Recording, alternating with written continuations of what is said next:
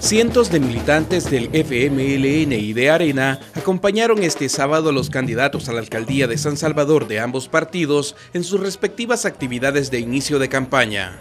Edwin Zamora, candidato tricolor, encabezó una caravana que recorrió varias calles de la ciudad y culminó en los redondeles Beethoven en el Paseo General Escalón.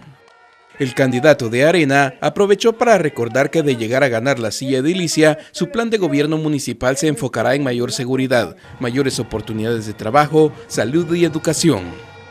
La transformación de San Salvador ya comenzó y va a seguir.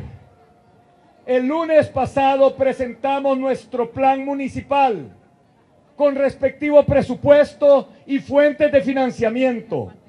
Nosotros abrazamos y departimos con los capitalinos con genuino cariño. Nosotros tenemos un plan hecho a la medida de nuestro San Salvador. Mientras que el candidato por el FMLN, Nayib Bukele, visitó a los habitantes de la colonia Nicaragua.